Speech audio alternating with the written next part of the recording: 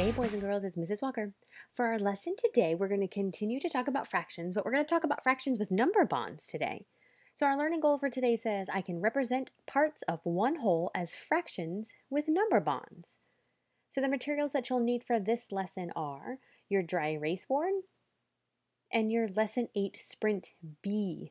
So, make sure that you grab both of those things um, and then click play when you're ready to begin the lesson.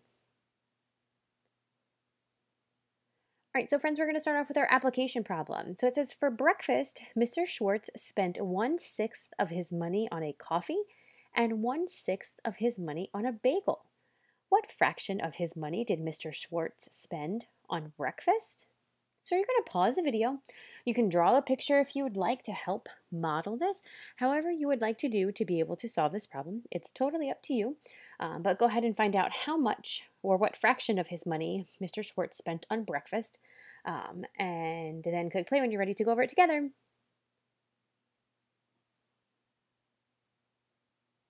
All right, friends, make sure to pause if you need more time. Okay, so here I was looking at one sixth of the money on coffee and one sixth of the money on a bagel. So that's telling me that my fractional unit is sixth, sixths for this. So here I'm going to draw a rectangle to represent Mr. Schwartz's money.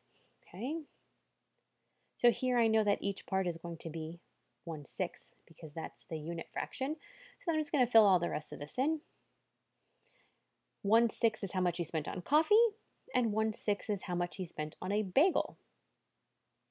So if I combine those together, I can count by that. So it would be one sixth, two sixths.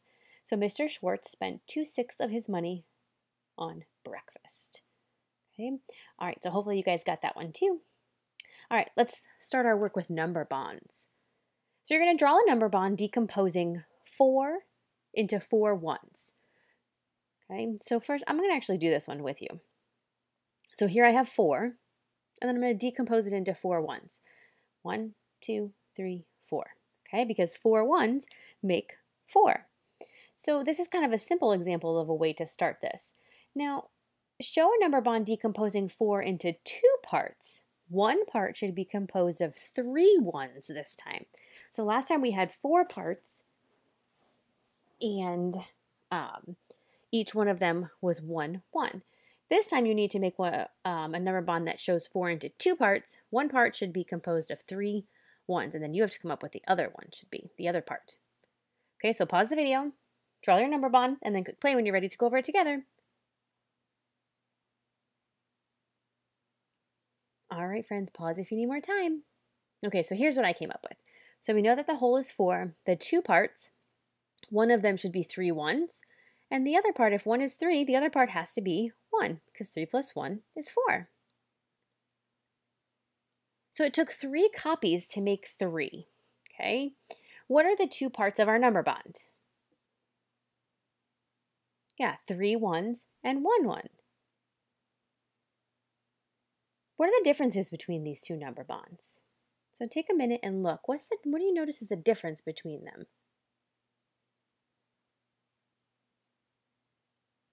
Yeah, so the first number bond has all the ones separated, right? So there's four parts. The second bond has three instead of three ones. The first bond has more parts than the second bond. But both bonds are different ways of showing the same number, four. Okay, so that's kind of interesting to analyze those number bonds. They're both showing the same total, but they're showing it in different ways.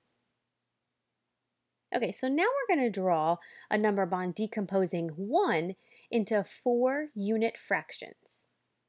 Okay, so we're going to take 1 and we're going to split it up into four unit fractions. So if we're splitting up into fours, what's our fractional unit going to be? Fourths, right? So then you would have to write your number bond using fourths.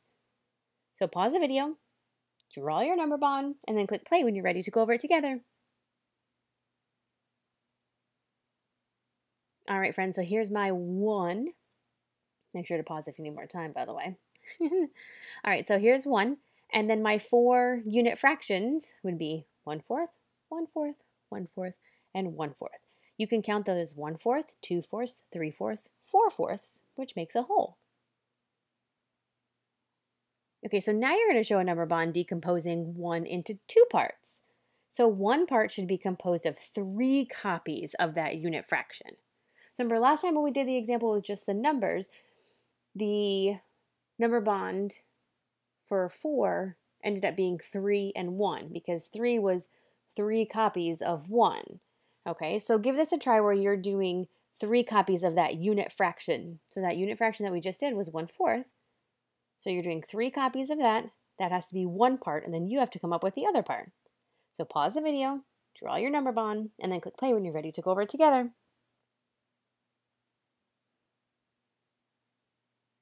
All right, friends, make sure to pause if you need more time. So here I have one. One of the parts is going to be three copies, which would be three fourths. One fourth, two fourths, three fourths. That's my three copies. The other part of my number bond would have to be one fourth to make the one whole. All right, so what unit fraction did we copy to make the number 3 fourths? 1 fourth.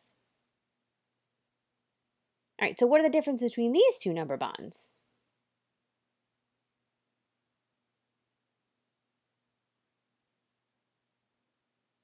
All right, so one is the first bond has the unit fractions all separated, right? So there's four of them. The second bond has three fourths and one fourth, so they did two parts of the number bond. The first bond has more parts than the second bond, right? That means that the second bond has less parts than the first one. And then both bonds are different ways of showing the same number, one whole. All right, so which figures on sprint B match your number bond? So this is where you need to have your sprint. So you can look at the page itself. So you're looking for fractions that have 3 fourths and 1 fourth. So pause the video, find all of the ones that have those modeled, and then you can jot those down on your dry erase board. And then click play when you're ready to go over it together.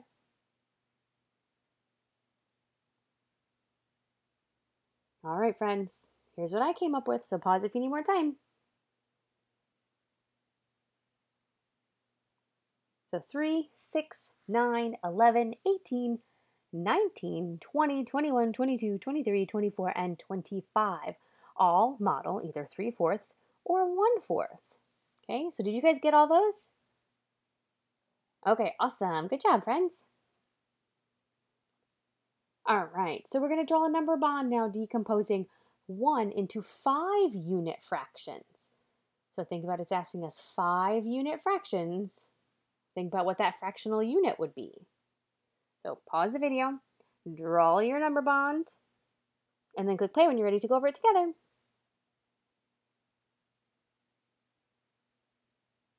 All right, friends, make sure to pause if you need more time. All right, so here's what I came up with. So there's my one as the whole, one fifth, because it said five unit fractions. So that's telling me one fifth um, is how I would have my parts for my number bond. So one fifth, two fifths, three fifths, four fifths, five fifths. Okay, so five unit fractions represented this way. Now notice when I just counted those, I counted around by the units each time to make sure that I had the total, the correct total number. Okay, so you could have said one fifth, one fifth, one fifth, one fifth, one fifth. Um, that's absolutely fine too. I was counting so I didn't make a mistake and put too many. All right, so now you're going to show your number bond decomposing into one into two parts one part should be composed of two copies of the unit fraction. So remember, the unit fraction was one fifth. So now you need to have one part that represents two copies of one fifth, and then you have to determine the other part. So pause the video, draw your number bond, and then click play when you're ready to go over it together. All right, friends, make sure to pause if you need more time. Otherwise, here we go. All right, so there's my one whole. Two copies of one fifth is two fifths and then I would count to find 3 fifths would be the other part. All right, so what unit fraction did we copy to make the number 2 fifths? Yeah, 1 fifth. 1 fifth and 1 fifth make 2 fifths. All right, so which figures on sprint B match your number bond? So go ahead and pause the video. Look through, you're looking for 2 fifths and 3 fifths. And then click play when you're ready to go over it together. All right, friends, make sure to pause if you need more time. Otherwise, here's what I came up with 30, 31, 32, and 33. Did you guys come up with those too? All right, awesome. If not, make sure you just go take a peek at those to show that how they are modeling 2 fifths and 3 fifths. All right, so great job, friends, representing parts of one whole as fractions with number bonds. So please head back on over to the module to see what you need to complete for your independent practice. As always, if you have any questions, please let me know. I'd be more than happy to help. And I hope you guys have a great rest of your day. Bye, friends!